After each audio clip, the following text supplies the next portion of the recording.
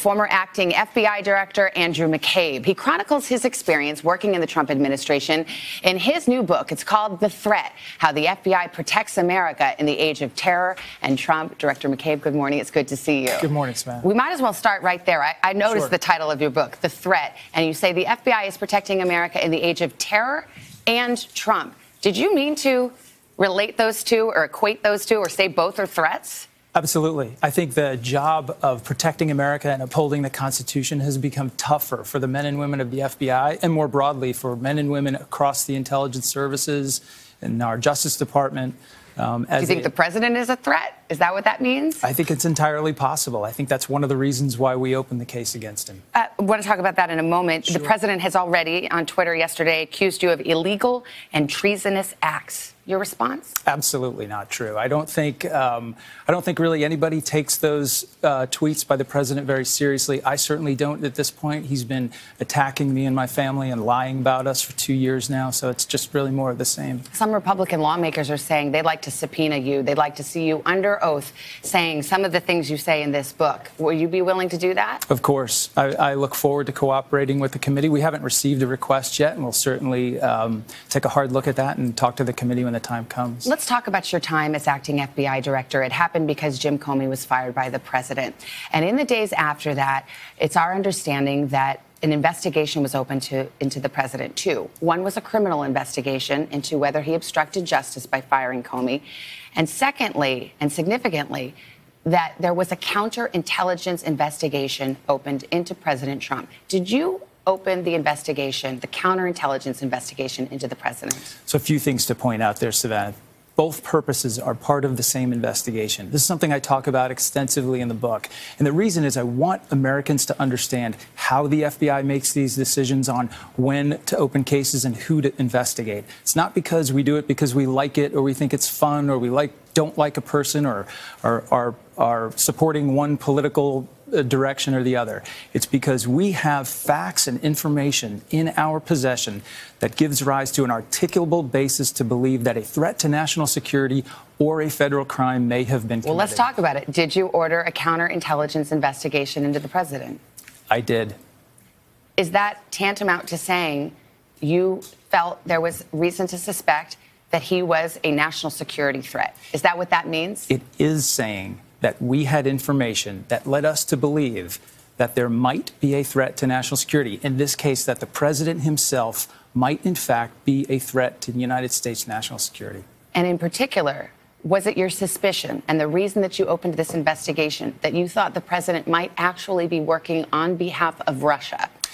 We had a number of very concerning things that we were considering at the time. One of them was the fact that the president, in our view, had gone to extreme measures to potentially impact, negatively impact, possibly turn off our investigation of Russian meddling into the election and Russian coordination with his campaign. So that, that goes to his potential motive, but when you're opening this particular kind of investigation, counterintelligence, did you suspect the president might actually be working for Russia? We thought that might be possible. Yes, we thought it might be possible. Now remember, Savannah, we're at the beginning of an investigation. We don't draw conclusions. We simply look at the facts and the information we have and begin investigations that we but as you point out in your book, uh, the FBI does not start any investigation willy nilly. What were the predicate facts? Lay them out here. What were the facts that suggested the president may be a national security threat and may, in fact, be working on behalf of a foreign adversary, Russia? Okay, so Savannah, we have to go back to the investigation of potential collusion between the campaign and Russia, right? So through the fall, these are topics we've been looking at. During that time, the president has been publicly undermining the investigative efforts. He's talking about it as a witch hunt. He's talking about it as a hoax. So it's clear to us that he's not happy with what we're doing. Also, during that time, the president approaches the director of the FBI and asks him to stop investigating Michael Flynn. A part of our investigation into Russian interference, he asks him to turn off that investigation. Why isn't that just the, the F- normal obstruction of justice criminal inquiry, which is substantial enough on its own? But sure. what takes it to this next level where there's a suspicion that he's working for a foreign government. I mean, this is extraordinary. Because you have to ask yourself, Savannah, if you believe that the president might have obstructed justice for the purpose of ending our investigation into Russia, you have to ask yourself why. Why would any president of the United States not want the FBI to get to the bottom of Russian interference in our election? I know you and other members of your team briefed the so called Gang of Eight. These are the leaders of Congress in the days right. after Comey was fired about the Russia investigation. So it would have been the Majority Leader of the Senate, Mitch McConnell, Speaker of the House, Paul Ryan, and Democratic counterparts. Did you tell them that you had opened a counterintelligence investigation into President Trump? The purpose of the briefing was to let our congressional leadership know exactly what we'd been doing.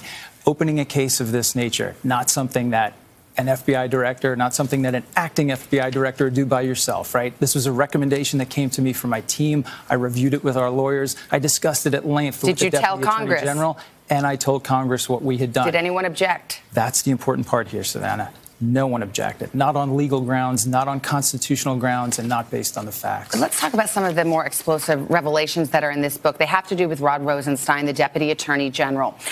You write in the book that Rosenstein, I believe on more than one occasion, you say, suggested wearing a wire, that he himself would wear a wire into the Oval Office to record the president. Mm-hmm.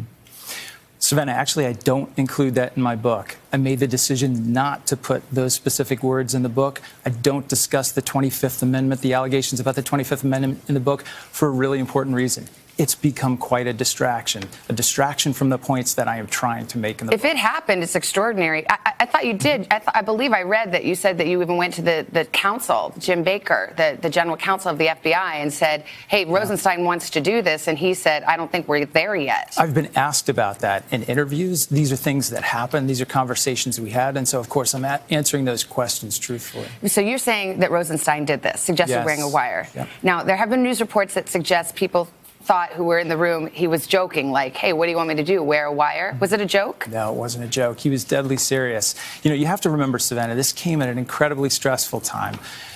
And i think the important part of that comment that rod made and the comment about the 25th amendment is not there, were, there, was no effort underway. Nobody wore a wire into the White House. Nobody was plotting to, you know, stage a coup or, or remove the president. The point is the, the stress and the complexity of the issues that we were discussing at the time. The fact that the president of the United States may have committed obstruction of justice for the purpose of impeding our investigation into Russia. That was the big picture issue that we were trying to find our way through. I should mention the Department of Justice and Rosenstein in particular have said that these accounts are factually inaccurate.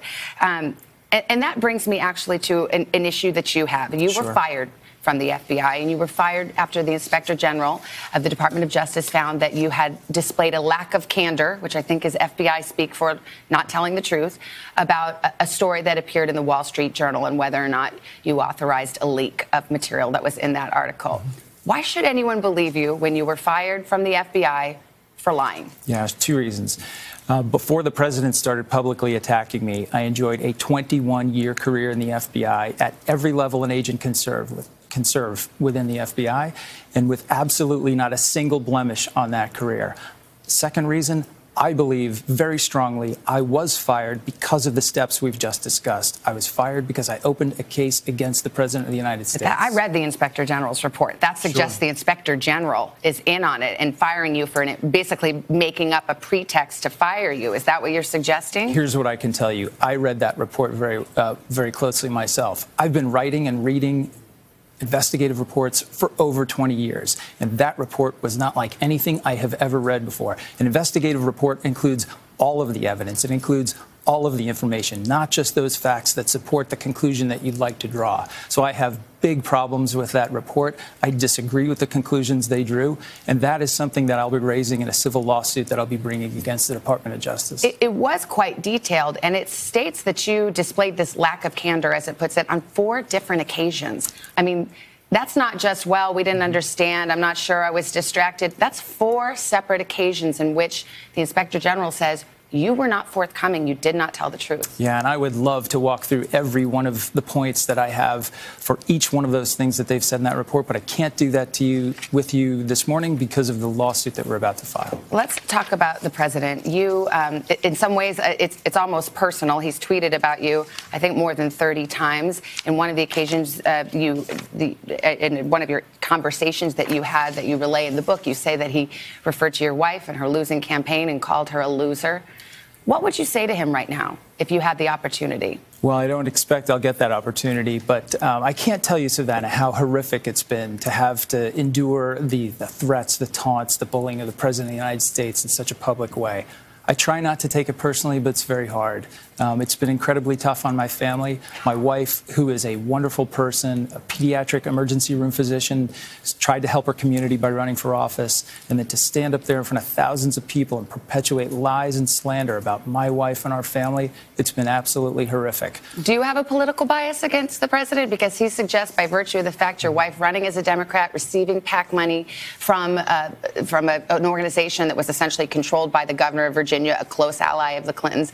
Do you have a political bias? Absolutely not. I did my job. I worked on the facts and the law that were in front of us at the time. There's absolutely no connection whatsoever with my wife's political activity and the decisions that I made at work. And I think that's been borne out by a in-depth investigation. You oversaw the Clinton email investigation. It has I did. subsequently come to light that someone you worked very close with, Lisa Page, who was your lawyer essentially, and someone else who worked on the case from the Department of Justice were having a romantic affair, um, an extramarital affair. It also came out in text messages that they had disparaged the president, that they had bashed him, that it demonstrated clear bias against the president. You oversaw that investigation. Did you ever see that kind of thing among Lisa Page and Peter Strzok? Not once. Not from Lisa Page, not from Pete, Pete Strzok, and not from anybody else on that team. One of their text messages mentions a meeting in Andy's office. Did any kind of conversation like that take place in your hearing? I don't recall the, the meeting or the conversation that they relate in their private text. Uh, it's one that I, a question I've been asked many times. We had many, many meetings between myself and those two and many others on the investigative team, so I don't recall the conversation they're referring to, but I can tell you this. Lisa Page and Pete Strzok are good people who served this country well. They made some poor decisions in their private lives and in terms of the communications they exchanged with each other. That's brought incredible grief and scrutiny on the FBI. I'm sure they regret that, but good people make bad decisions every day. I got to go, but you, do you feel you'll be vindicated by the Mueller report? I anxiously await the results of uh, Director Mueller's work, and, and, I hope that we all get to see that. I think uh, all Americans have a right to see the results of that work. Director Andrew McCabe, thank you for your thank time. You. Appreciate it. And again, the book is called The Threat.